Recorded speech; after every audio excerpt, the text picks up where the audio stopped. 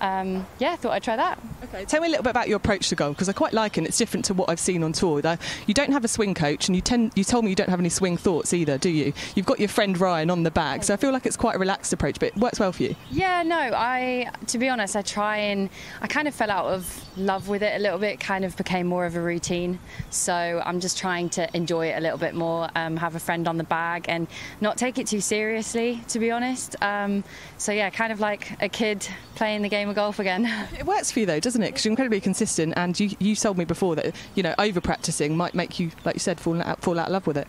Yeah, no, exactly. I think if I just do too much, I think it's just it's just too much of a routine, and I want to enjoy everything that I'm doing. So I try and um, make everything a lot more fun, and maybe not do it as long, but kind of have games here and there. So yeah, that's what I try and do. Especially when your boyfriend Todd's a golfer as well. You can't get too much golf, can you? But I'll leave you for the rest of the 13. Thank you.